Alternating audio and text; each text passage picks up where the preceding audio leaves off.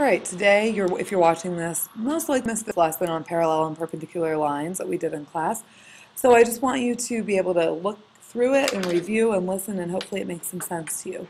So parallel and perpendicular lines, what we learn when we work through our notebook file is that parallel lines, and those are lines that never intersect, like most of you know, they have the same slope but they have different y-intercepts. So every time you're going to graph or see parallel lines, they will always have the same slope, but they will have different y-intercepts. So for example, we might have two equations.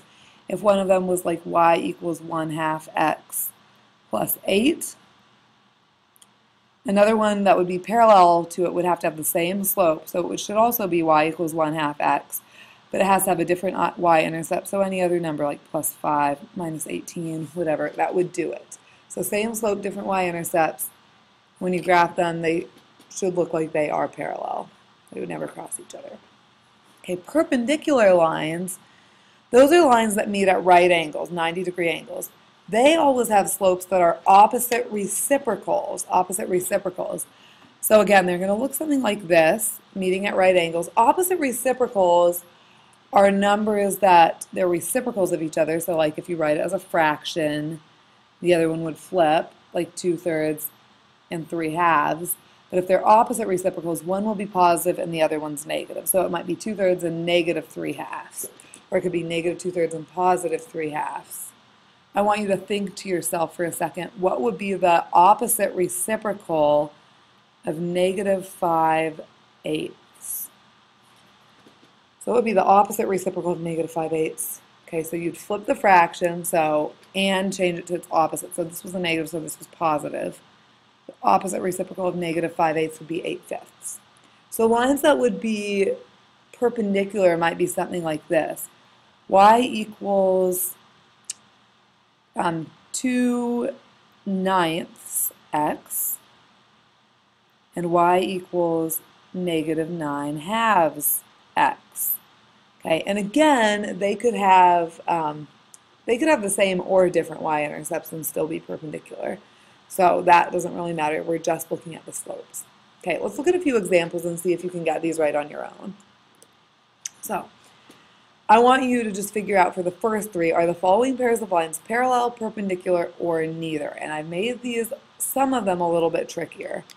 So this one's y equals 3x plus 5 and y equals 5 minus 1 third x. So you really need to find the slope in each of these pairs of equations. So in the first equation, remember slope is the number that multiplies the x. If we're in that form, y equals mx plus b. Okay. So it looks like here my slope is 3. And the second one, I can switch it around if I want um, to negative 1 third x plus 5. A lot of you can figure it out straight from this form we need to remember the negative comes with it, so the slope in this one's negative one-third. And if we look at 3 and negative one-third, they're not the same, so they're not parallel. They are opposite reciprocals. 3 is the same number as 3 over 1. 3 over 1 and negative one-third, those are opposite reciprocals, so we would say these are perpendicular. All right, let's look at another one again. I want you to try it and see if you can get it right without my help. Okay, here it is. So y equals 8 minus 9x, and y equals negative 9x plus 1. Okay, so in the first one, I'm going to look at the slope. So remember, what number multiplying x. My slope is negative 9. In the second one, again, number multiplying x, slope is negative 9. So they have the same slope. So as long as they have different y-intercepts, we're good. The y-intercept of this one is 8. The y-intercept of the second one is positive 1. So they do have different y-intercepts. They have the same slope. So these two lines are parallel. Okay. If they have the same y-intercept and the same slope, they'd just be the exact same line. Okay. Let's look at this one. y equals 10 plus 2x and y equals 10 plus 0.5x. All right, checking this out. Right here, my slope in y equals 10 plus 2x is 2. My slope in y equals 10 plus 0.5x is 0.5. So 2.5, or I'm going to write that as 1 half. Okay. If I look at these, these are not the same, so they're not parallel.